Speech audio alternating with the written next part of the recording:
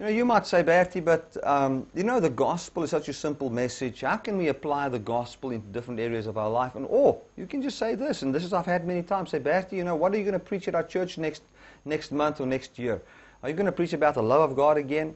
Yes, there's only one message. There's only one gospel, and that is the love of God.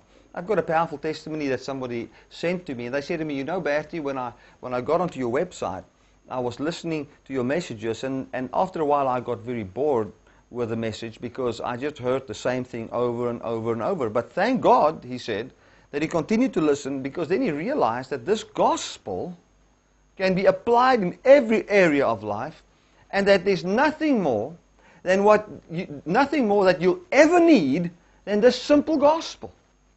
So I want to tell you there's no higher revelation than what you're hearing. One obeyed on behalf of all, and that brought new life for every man. Now, just that revelation, listen, go today, just spend, after you've listened to this video, spend five minutes just meditating upon the perfection of the sacrifice and then how that sacrifice left you with the perfection of God. Now, what more do you want than that? That is the simple gospel. That can be applied to your finances and everything. That is the gospel. The good news of Jesus. How God brought redemption for the human race. Thank you, Jesus. Amen.